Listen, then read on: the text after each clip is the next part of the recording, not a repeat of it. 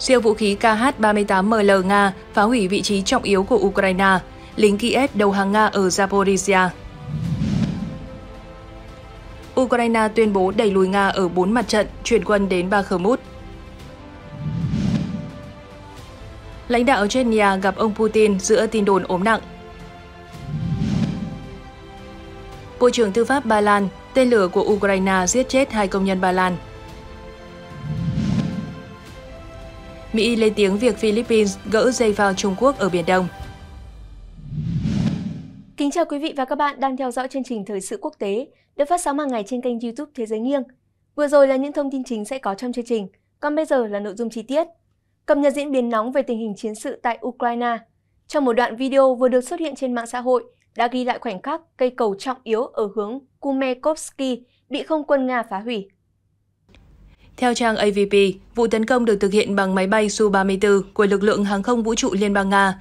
Tên lửa không đối đất KH-38ML được sử dụng làm vũ khí tiêu diệt đối tượng. Đoạn video được công bố cho thấy tên lửa phóng từ Su-34 đã đâm trúng cấu trúc cầu với độ chính xác cao, gây ra vụ nổ mạnh. Đám mây bụi bốc cao hàng trăm mét trên vị trí vào chạm cho thấy sức công phá mạnh của loại vũ khí được sử dụng. Tên lửa KH-38ML được biết đến với đặc tính có độ chính xác và sát thương cao. Đây là loại vũ khí hiện đại được thiết kế đặc biệt để tiêu diệt nhiều mục tiêu mặt đất khác nhau, bao gồm cả cơ sở hạ tầng của đối phương. Việc phá hủy cây cầu theo hướng Kuzemovsky có thể cho thấy tầm quan trọng trong chiến lược của cơ sở này đối với các hoạt động trong khu vực. Các cây cầu thường là điểm then chốt cho việc di chuyển của quân đội và thiết bị. Việc phá hủy chúng có thể cản trở hoặc làm chậm nghiêm trọng các hoạt động của đối phương. Hiện chưa có bình luận chính thức nào từ đại diện Bộ Quốc phòng Nga về vụ việc này. Dự kiến, thông tin bổ sung về mục tiêu và hậu quả của cuộc không kích sẽ sớm được công khai. Trong một diễn biến nóng khác, ngày 29 tháng 8, Bộ Quốc phòng Nga cho biết một nhóm lính Ukraine đã đầu hàng gần các khu định cư Rabutino và Piati, Khaterki đều ở tỉnh Zaporizhia, nơi Ukraine đang tiến hành chiến dịch phản công. Theo Bộ, trên hướng Zaporizhia, lực lượng Ukraine đã nỗ lực tấn công các cứ điểm Nga gần Rabutino và Piati, Khaterki, nhưng vô ích. Khi Ukraine thấy được sức mạnh từ vũ khí của Nga, Ukraine đã chọn đầu hàng. Bộ Quốc phòng Nga cho hay. Bộ này cho biết thêm, Ukraine đã phải chịu hàng nghìn thương vong ở hướng Zaporizhia trong chiến dịch phản công. Phía Ukraine chưa lên tiếng về thông tin này. Nga vừa qua đã tổ chức một cuộc không kích quy mô lớn bằng máy bay không người lái UAV nhằm vào ba tỉnh của Ukraine không lâu sau khi lãnh đạo NATO cho rằng chiến dịch phản công của Ukraine đang dần dần giành bước tiến. Hãng tin Reuters dẫn thông tin từ không quân Ukraine ngày 28 tháng 9 cho hay, các hệ thống phòng không của họ đã bắn hạ 34 trong tổng số 44 UAV Shahed của Nga nhằm vào các mục tiêu ở ba tỉnh gồm Nikolaev, Kirovohrad.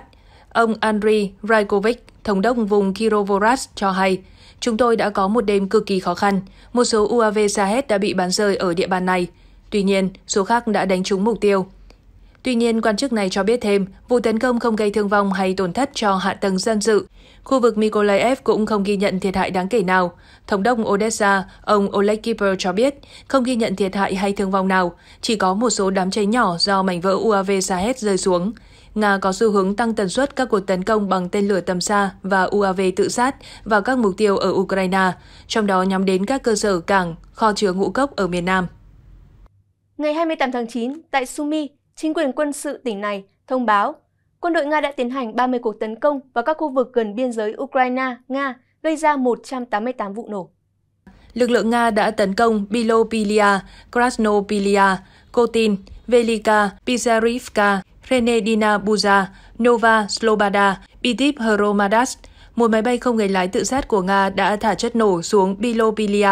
Giới chức Ukraine cũng cho biết, trong ngày 28 tháng 9, pháo binh Nga đã tấn công một khu dân cư ở Kherson, khiến cho ba phụ nữ thiệt mạng. Ngoài ra, lực lượng Nga đã tiến hành cuộc tấn công vào thành phố Konstantinivka ở tỉnh Donetsk vào chiều ngày 28 tháng 9, khiến cho ba người bị thương. Ông Zhang Gagin, cố vấn của lãnh đạo chính quyền Donetsk, vừa cho biết do bị tổn thất nặng nề, quân đội Ukraine đã tái triển khai một bộ phận quân từ khu vực Krasny Liman đến Bakhmut trong nỗ lực tấn công vào sườn phía Nam. Ông Gazin cho biết, theo thông tin tình báo của chúng tôi, đối phương đã chuyển một phần đáng kể lực lượng từ Kremenia ở khu vực Krasny Liman đến Andreyevka ở sườn phía nam Bakhmut để tham gia các cuộc tấn công. Ông Gazin thông báo tổn thất của quân đội Ukraine tại khu vực Bakhmut đã lên tới hàng trăm người thiệt mạng và bị thương. Trước đó, quan chức Donetsk cho biết lực lượng Nga đã phá hủy một thành trì của Ukraine gần Andreyevka. Theo báo cáo của Bộ Tổng tham mưu các lực lượng vũ trang Ukraine vào tối ngày 28 tháng 9, lực lượng phòng vệ Ukraine cũng đã đẩy lùi các cuộc tấn công của Nga ở bốn hướng Liman, Avdiivka, Mariinka và Sakhartaske. Lực lượng phòng vệ Ukraine tiếp tục tiến hành các cuộc tấn công theo hướng Bakhmut, khu vực Nga tuyên bố giành quyền kiểm soát từ tháng 5. Bộ Tổng tham mưu Ukraine cho biết lực lượng phòng vệ đã gây tổn thất về lực lượng và trang thiết bị cho quân đội Nga, khiến cho đối phương suy yếu trên toàn tuyến. Trong ngày 28 tháng 9, không quân Ukraine đã tiến hành tổng cộng 16 cuộc tấn công vào các mục tiêu của Nga, bao gồm một cuộc tấn công vào hệ thống tên lửa phòng không, hai cuộc tấn công vào các trạm tác chiến điện tử và các cuộc tấn công vào các khu vực tập kết nhân sự, vũ khí và thiết bị quân sự của Nga. Trong một diễn biến đáng chú ý, lực lượng Nga mới đây đã tiến hành pháo kích vào các mục tiêu của Ukraine, phá hủy xe bọc thép Ukraine ở Cộng hòa Nhân dân Donetsk tự xưng. Bộ Quốc phòng Nga vừa công bố video ghi lại cảnh lực lượng quân đội Nga phá hủy hai xe tăng Ukraine và một số xe bọc thép gần khu định cư Kleseyevka ở Cộng hòa Nhân dân Donetsk tự xưng. Theo Bộ Quốc phòng Nga, quân Ukraine không còn nơi ẩn khi pháo binh và không quân Nga phối hợp tác chiến vào các mục tiêu quân sự của đối phương. Nga loại bỏ nhiều thiết bị quân sự phương Tây cung cấp cho Ukraine mỗi ngày. Tổng thống Ukraine Volodymyr Zelensky trong tuyên bố mới nhất khẳng định việc nước này gia nhập Tổ chức Hiệp ước Bắc Đại Tây Dương NATO chỉ còn là vấn đề thời gian. Theo trang president.gov.ua, Tổng thư ký NATO Jens Stoltenberg ngày 28 tháng 9 đã có chuyến thăm Kiev và gặp gỡ Tổng thống Ukraine Volodymyr Zelensky.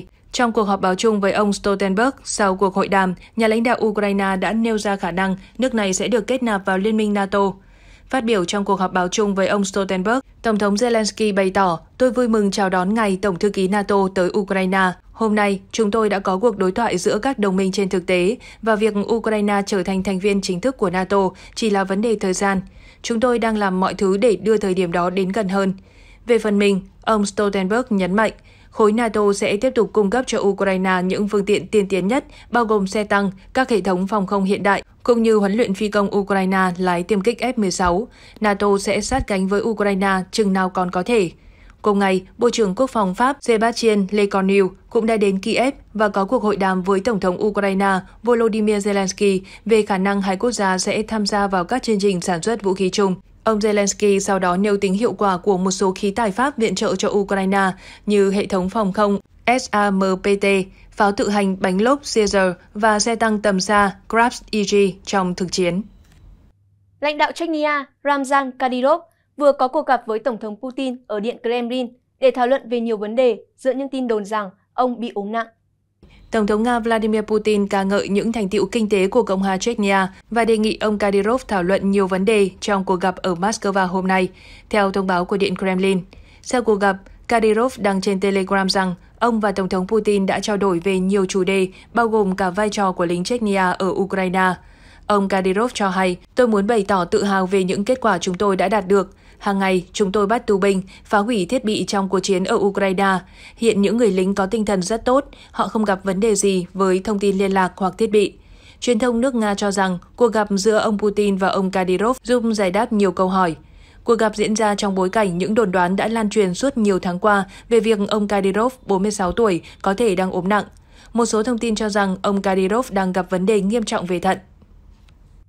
Tổng thống Nga Putin trong tuyên bố mới nhất cho biết Cuộc bầu cử trong tháng 9 quan trọng hướng tới sự gia nhập đầy đủ các khu vực nước này sang nhập từ Ukraine là Donetsk, Luhansk, Kherson và Zaporizhia. Theo hãng tin Reuters, ngày 28 tháng 9, Tổng thống Nga Vladimir Putin cũng mô tả các cuộc bầu cử ở bốn vùng sát nhập từ Ukraine là công bằng. Ông Putin nhấn mạnh, tất nhiên, đây là một sự kiện ý nghĩa, một bước quan trọng hướng tới sự gia nhập hoàn toàn của các khu vực mới vào một không gian pháp lý, nhà nước duy nhất của đất nước rộng lớn của chúng ta. Các khu vực Donetsk, Lugansk, Kherson và Zaporizhia đã được Nga sát nhập từ Ukraine vào năm 2022. Đầu tháng 9 năm 2023, Nga đã tổ chức bầu cử ở bốn vùng này.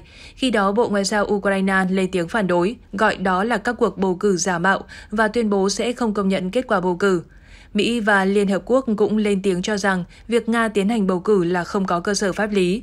Đại sứ Nga tại Liên Hợp Quốc Vasily Nebenzia nhắc lại việc Moscow đã tổ chức sát nhập bốn vùng này vào một năm trước hôm 8 tháng 9, nhấn mạnh người dân đang bỏ phiếu tích cực và có ý thức cho tương lai của họ cùng với Nga. Phát biểu trong một cuộc họp báo ở Lublin mới đây, Bộ trưởng Tư pháp Ba Lan cho biết cuộc điều tra do các công tố viên Ba Lan tiến hành dẫn đến một quan điểm cho thấy quả đạn này là tên lửa của Ukraine. Theo ông Zbigniew Ziobro, phát hiện này dựa trên nơi tên lửa được bắn ra, đồng thời nói thêm rằng quả đạn này là do Liên Xô sản xuất. Ông Zabro cũng cho biết ông lấy làm tiếc vì trong nhiều tháng Ukraine không có sự hợp tác liên quan tới việc điều tra. Vào tháng 11 năm 2022, một quả tên lửa đã rơi xuống một cơ sở xấy ngũ cốc ở làng Sevodov, cách biên giới Ukraine khoảng 6 km, giết chết hai công nhân. Sự cố tên lửa này đã làm dấy lên lo ngại về nguy cơ leo thang xung đột giữa Nga và Ukraine. Bộ Quốc phòng Belarus ngày 28 tháng 9 cáo buộc một trực thăng Ba Lan đã xâm phạm không phận trong bối cảnh căng thẳng giữa hai quốc gia láng giềng leo thang không ngừng trong thời gian qua. Thông báo nêu rõ khoảng 15 giờ 20 phút theo giờ địa phương, máy bay Ba Lan đã vượt qua biên giới Cộng hòa Belarus vào sâu tới 1,5 km vào lúc 16 giờ 22 phút. Chiếc trực thăng liên tục vi phạm biên giới quốc gia, đi sâu 300 mét. Belarus, đồng minh thân cận nhất của Nga cho biết họ đã điều máy bay quân sự tới để đối phó trực thăng Ba Lan. Warsaw sau đó đã lên tiếng phản bác thông tin từ phía Belarus. Người phát ngôn của Bộ Chỉ huy tác chiến của lực lượng vũ trang Ba Lan nói với Reuters, Bộ Chỉ huy tác chiến phủ nhận một cách dứt khoát những cáo buộc này, không có trực thăng nào của Ba Lan bay qua không phận Belarus. Bộ Ngoại giao Belarus cho biết họ đã triệu tập đại biện lâm thời Ba Lan ông Marcin Wojciechowski để bày tỏ quan điểm phản đối. Theo cơ quan trên, Minsk đã yêu cầu Warsaw tiến hành một cuộc điều tra khách quan về vụ việc và thực hiện các biện pháp để ngăn chặn những sự cố như vậy trong tương lai. Tại phiên điều trần trước Quốc hội ngày 28 tháng 9, Phó trợ lý Bộ trưởng Quốc phòng Mỹ phụ trách khu vực Nam Á và Đông Nam Á cho rằng việc Philippines gỡ dây phao Trung Quốc gần bãi cạn Scarborough là hành động mạnh mẽ nhằm bảo vệ chủ quyền. Bà cũng nhấn mạnh lại cam kết an ninh của Washington dành cho Manila. Bà Lindsay Ford cho biết cam kết này áp dụng trong cả những trường hợp tấn công nhằm vào tàu, máy bay của Philippines trên Biển Đông, bao gồm cảnh sát biển Philippines. Cơ quan tuần duyên và Cục Thủy sản và Nguồn lợi Thủy sản Philippines ngày 24 tháng 9 chỉ trích Trung Quốc răng dây phao một phần ở khu vực bãi cạn Caboro, ngăn các tàu đánh cá Philippines đi vào bãi cạn và ngăn chặn hoạt động đánh bắt và sinh kế của ngư dân Philippines. Một ngày sau đó, Manila thông báo đã gỡ bỏ thành công dây phao theo chỉ thị của Tổng thống. Đáp lại, người phát ngôn Bộ Ngoại giao Trung Quốc Uông Văn Bân nói, Trung Quốc kiên quyết bảo vệ chủ quyền và lợi ích hàng hải của Hoàng Nham. Chúng tôi khuyên Philippines không nên khiêu khích hay gây rắc rối. Thông tin vừa rồi cũng đã khép lại chương trình Thời sự quốc tế, được phát sóng hàng ngày trên kênh youtube Thế giới nghiêng. Cảm ơn quý vị đã quan tâm theo dõi. Xin chào và hẹn gặp lại.